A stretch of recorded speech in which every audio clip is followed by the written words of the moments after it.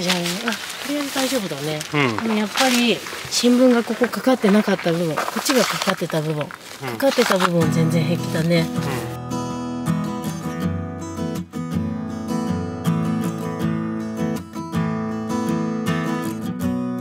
こんにちは。はいこんにちは。トロピカルガーデンはい、です。はい、昨日はライブ配信ありがとうございありがとうましたございました。2時間うん。2ぐらい。時間ちょっとやったね。ちゃったのよね、うん。すいません遅くまで。お付き合いありがとうございました。来週も来週ビンゴカードが1枚しかないので、うん。ビンゴカードが終わったらまたライブ配信みたいであの質問うん。コーナーみたいにしようかなと思ってます。雑談会雑談会だね、うん、ねしようと思ってます。飲める人はビールでも飲みながら、はい。参加してください、ぜひ。で昨日のあのライブ配信中にうん。屋外に出しっぱなしだったと言ってた。うんあれをまだ開けてないのでうん。ドキドキしながら開けようと思っています、はい。こんな感じで、うん。とりあえずもう遅かったんで時間が、うん。なのでとりあえずもう急急遽やれることって言ったら、うん。新聞をかけることよく皆さんにお勧めしてるね、うん。で一部新聞がかかってない部分もあったんだけどもう新聞がかかってない部分ちらっと見た感じ葉がうん。傷んでるなーっていう感じ。うん。でこれアイオニウムとセンポニウムセンポニウムね。うんドキしながら開けるね。うん。この辺もねかかってない部分ね。でリトープスもかかってないけどリトープス見た感じで平気そうだよね。うんそうだね。抜きないの。すごい冷えてる。でも凍ってはいないよ、ね、うじゃあ開けんます。昨日でマイナス何度ぐらいだったの？昨日が昨日はねなんかマイナスいってなさそうな感じだ今ったけど。日今日うん今日今日っていうかこれ。今日。一昨日がマイナス23度までいってるんだうよね、ん。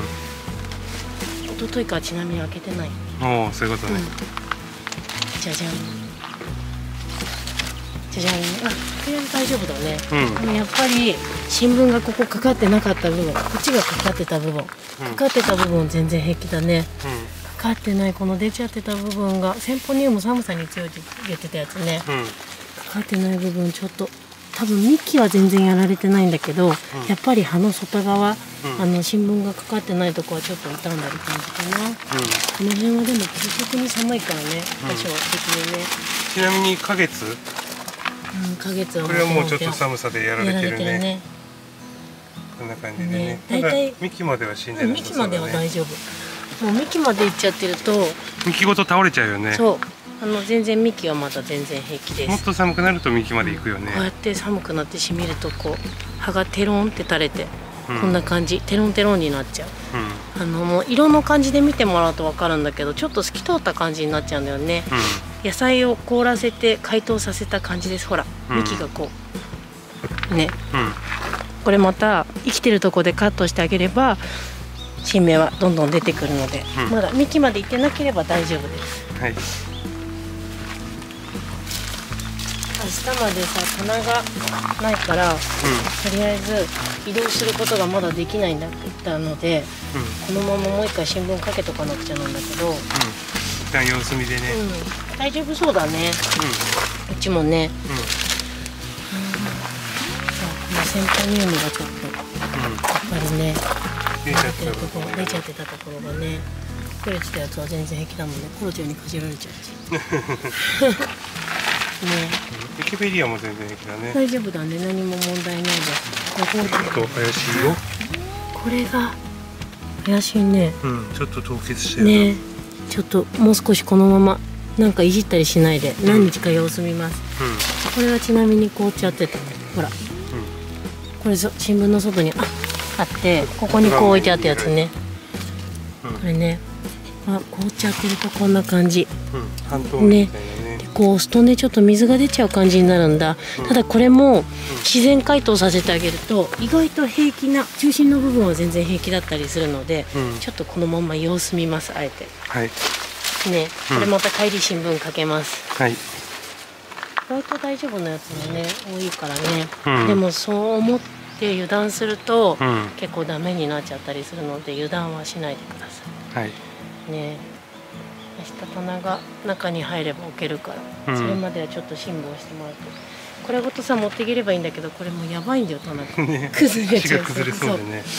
ねう。んそんな。あそっか。じゃあこれとこれだけは持っていけるんだなやっぱりね。うん。持ってっちゃおう。ね。うん。そんな感じで油断はしないでください。で万が一こうやって凍っちゃってもあの前も言ったように急激に暖かいところに置いたりとかストーブに当てたりとかしないで、うん。自然に時間を経たせてあげてください、ん。そうすると意外と復活してくれるものもあるので,、ね、うん。うんでここよりも向こうのハウスの前は全然平気だったんだよね。うん。だからこう冷気が溜まりやすい場所がうん。ダメだったりするので。うん。これはねマッコスは凍っても凍っても全然平気なんだよね、この塗り方一回凍って解凍されたようなそうだね。うん。あれだもんねでマッコスこれもう一年中ずっとこの場所にいるんだけど、うん。去年もねここで一回もう去年すっごい究極の寒さで結構ダメになったんだけど、うん。根元にいる株とかあと幹の部分が残ってたからそこからまたわさわさ増えてこんな感じになってます。これも平気。うん。全然大丈夫。凍っちゃうけど、うん。また切って刺してをすれば全然大丈夫。復活してくれる部類です。うん。ね。そうやって復活してくれるのも結構あるから風にしてあげるといいです、はい。どうしてもさ中しまえない量のものもあるわけじゃん、うん。そういうのはもう新聞をかけて。うん。でこうやって屋根がちょっとあるだけでも全然それだけで違うのでうん。そこにさらに新聞なんかかけてあげると全然大丈夫だったりします、うん。ただ水はしっかり切った状態でねうん。やってあげてください。はい。そんなところかな。うん。大丈夫？うん。ね。うんちょっとショックだったな先輩 そうだね。寒さに強いっていうあれで見てたからさ、うん。だから究極の寒さの時やっぱり新聞を1枚かけてあげるのがいいのかな、うん。ね。でも外葉アイオニウムとかもそうなんだけどうん。外の葉っぱが結構傷んじゃったとしても芯が傷まない限りはまた芯から出てきてくれるから、うん。そこは心配しなくて大丈夫です、うん。ただもう見た目の問題でちょっと傷んでしまうとダメージがねうん。かかってしまうとやっぱり葉っぱにあのこう痛みの傷が出てしまうのでそこだけ気をつけてください。はい。はい、ちなみにさ、うん。これはあの、うんと寒くなる前その究極の寒さの前に金曜日の日かな、うん。夕方に。もうこれだけは取り込んだやつなんだよね。外にいたやつ？そうそうそう。でほら若干こんな感じで柔らかくもうもう最初からね取り込んだ時からこういう風になってたから前の日にもうダメージを受けたんだと思う、で花芽もほらもう寒さでやられてこんな感じになってしまいました。ねえ。大型のエケベリアってこうやって最初に一番こうやって出てくるので寒い日はねちゃんと取り込んであげてください、はい。で染みた後にこう寒さで昨日もさ黒くなっちゃったって言ってたよね、うん。うんこんな感じでやっぱ黒くなっちゃうんだよね寒さにやられると。ね。芯まではいかないけどやっぱりこうやってダメージが出てしまうのでうん。そういうのをねつけないためにも取り込んであげるといいですでもね過酷に生きてきたっていう感じの見た目してるもんね。そうそうそうそう。ねこれは夏の終わりにもう全部しっかり用土をリフレッシュしてあげて掘れるだけ掘って新しい用土を入れてあげたので根の方は大丈夫だけど外側からの寒さのダメージ。ね。もう今年は暖かいからそれでも全然ダメージが少ない方だねこの時期にしてはね、そうだね。うん、もうもっ12月だもんね。とね本当だったらもっと寒くなってるわけだからこの時期って。うん。まだ今年は暖房もどうにか炊かずにやっていけてるのであのこのハウスの中の暖房って最低限の暖暖房なので、うんあの育てるための温度をすごく上げて暖かくしてあげて育成させてあげるっていう目的よりも寒さをしのぐため最低限の暖房なので本当に言ってもどんなに暖かくなっても夜間5度ぐらいだよね、うん凍らない程度の暖房をかけてます。うん。なのでね屋外よりは大丈夫だろうっていうぐらいの気温なので、まあとりあえず凍んないかなっていう程度のね暖房だからね。うん、それすごいいっぱいかければ暖かくなるけど灯油代が怖いのうん。で ねそれぐらいで収めています、はい。ね、だから極限まで寒くさせちゃうぐらいだったら生きてられるぐらいの温度で管理してあげれれば一番いいんだよね、うん。超暖かいハウスの中ね日中がすごく暖かいので、うん。やっぱりね成長はどんどんしてくれます。うん。ね、夜間寒くなったとしてもやっぱり日中の暖かさの時間ってすごく長いので水やりすればちゃんと芯は生き生きしてくれてるしやっぱ屋外とのやっぱ違いなのかな、うん。ね。このさ昼間いやなんか必要以上に温まるじゃん、うん。やっぱり晴れた時とかって、そその熱を夜までちゃんと保温してくれたら最高なんだけどね。毎年それ思うけどそう。